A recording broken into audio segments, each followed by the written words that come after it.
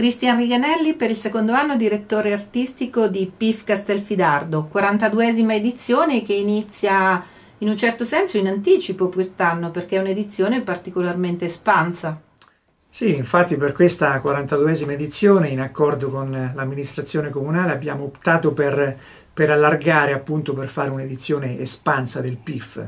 Infatti eh, partiremo con la musica, suoni fisarmonica, eh, proprio durante i primi due, weekend, eh, primi due weekend di agosto con un'edizione PIF sotterranea in cui inviteremo dei musicisti a suonare eh, nelle grotte di Frasassi, nelle grotte di Camerano, grotte di Osimo e cisterne romane di Fermo e quindi eh, faremo assaggiare il suono della fisarmonica e dell'organetto ai tantissimi turisti che visiteranno queste zone. Eh, altra eh, caratteristica del PIF espanso sono il PIF Round, eh, quattro concerti che collegherà eh, la Coppa Mondiale di Osimo con il Premio Internazionale Castelfidardo in quelle città che hanno rappresentato la storia della fisarmonica insieme a Castelfidardo, ovvero eh, Recanati, Numana, Camerano e Loreto. E quindi eh, questa edizione vuole un po' toccare tanti comuni limitrofi a Castelfidardo proprio per sensibilizzare eh, tutti quanti allo strumento, al suono della fisarmonica e, e alla storia di questo territorio. Tra le novità 2017 del 42esimo PIF anche una nuova visione di, della collaborazione con i conservatori italiani. Per questa 42esima edizione infatti abbiamo eh, ideato una sezione riservata alle classi di fisarmonica e di musica da camera e d'insieme dei conservatori italiani eh, che riguarda proprio la promozione e lo sviluppo della musica da camera non è una competizione ma è una sezione appunto che prevede la realizzazione di un concerto. Ogni conservatorio presenterà eh, 15 minuti di musica da camera in cui la fisarmonica può essere affiancata da altre fisarmoniche oppure eh, interagire con altri strumenti. Il programma di esecuzione sarà un programma a libera scelta, eh, quindi potremo avere trascrizioni, musica originale o prime esecuzioni.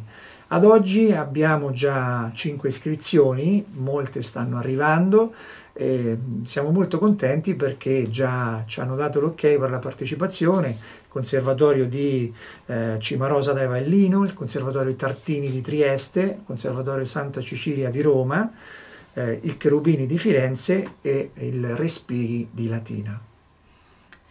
Oltre all'Accordion Stage Academy, un altro momento di interpretazione sarà certamente la finale per la categoria premio, che da tre anni prevede che venga fatta con eh, l'accompagnamento dell'orchestra. Eh, qual è il pezzo di quest'anno? Come pensa di approcciare questa categoria che è un po' il fiore all'occhiello del premio di Castelfidardo? Sì, per la categoria premio, che è la categoria concertisti di, di questa 42esima edizione. Eh, prevediamo tre prove come è successo lo scorso anno e la terza prova come avviene per i più importanti eh, concorsi e competizioni pianistici e violinistici.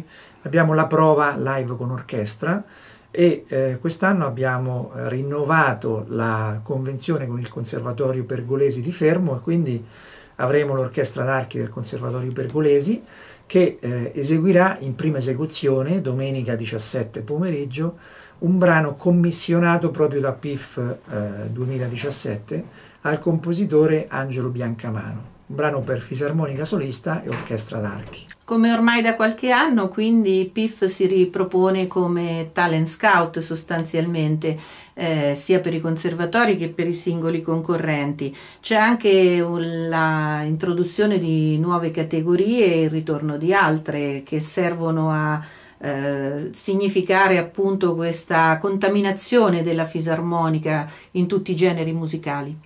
Sì, abbiamo inserito delle nuove categorie, infatti abbiamo inserito la categoria Solisti World Music, una categoria che ha avuto già tantissime iscrizioni. E ehm, questa è la categoria del giovedì, quindi giovedì avremo World Music Solisti e World Music Gruppi. Il venerdì abbiamo inserito la, reintrodotto la categoria Jazz, categoria J, che da qualche anno era stata un po' interrotta e l'abbiamo promossa molto anche perché abbiamo inserito tantissimi premi per questa categoria.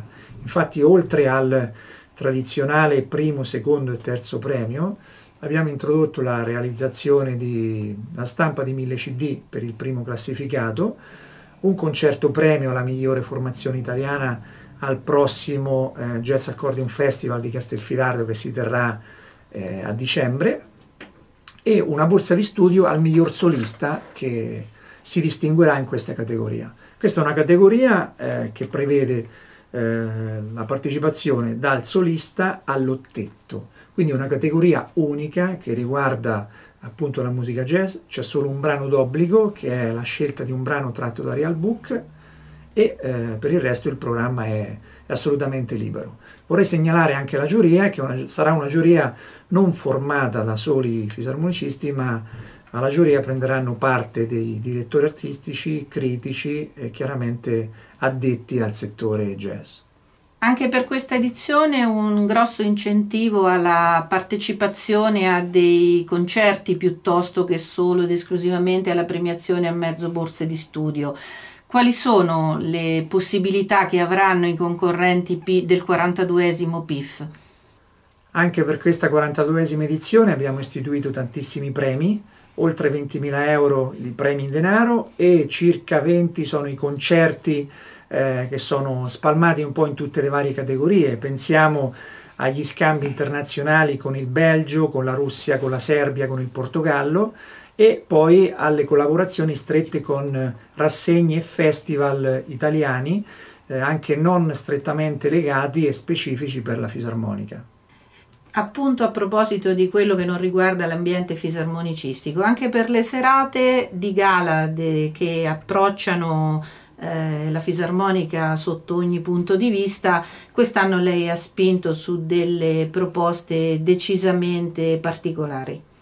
Sì, infatti la serata d'apertura si terrà mercoledì 13 settembre e vedrà protagonista Dario Vergassola insieme ad un ensemble di quattro musicisti dove naturalmente eh, sarà inserita anche la fisarmonica ed avrà un ruolo di primo piano e eh, Dario Vergassola presenterà un progetto che si chiama La ballata delle acciughe con una divagazione naturalmente a tema fisarmonica. Questa sarà la serata di apertura. Il giovedì 14 settembre avremo Alessandro Gaudio, Etno Project, organettista talentuosissimo che viene dal Cilento. Per il venerdì, la serata eh, della musica jazz, avremo Marc Bertomiu e Giovanni eh, Mirabassi, quindi fisarmonica, e pianoforte, un duo eh, che viene da Parigi. Per la serata di gala di sabato 16 settembre avremo un omaggio al tango.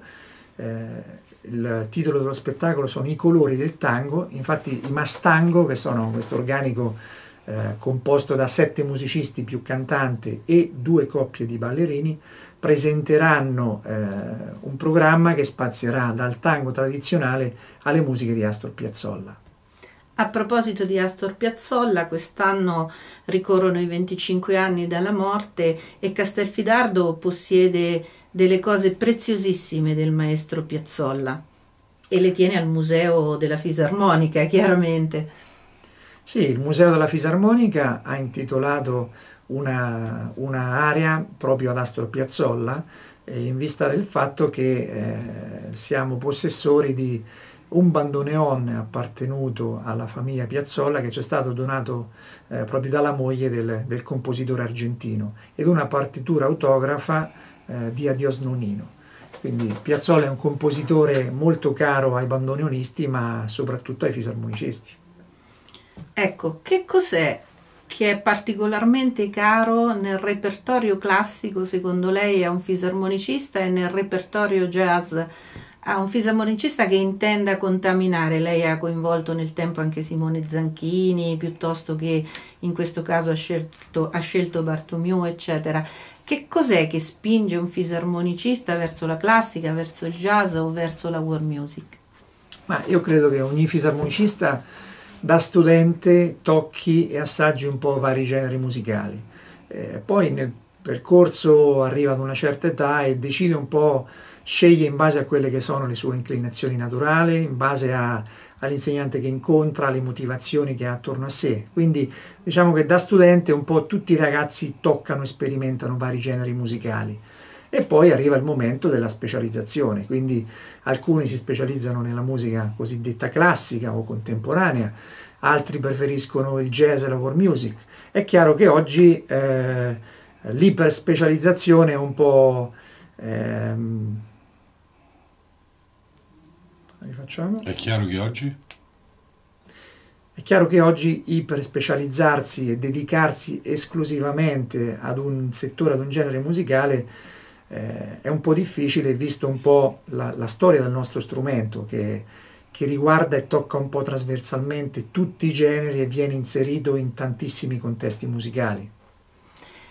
Per il prossimo PIF, il 42esimo, di cui lei è direttore artistico, maestro Riganelli, che ricordo vorrebbe le rimanesse alla fine, il 17 sera, quando lei avrà chiuso questa edizione?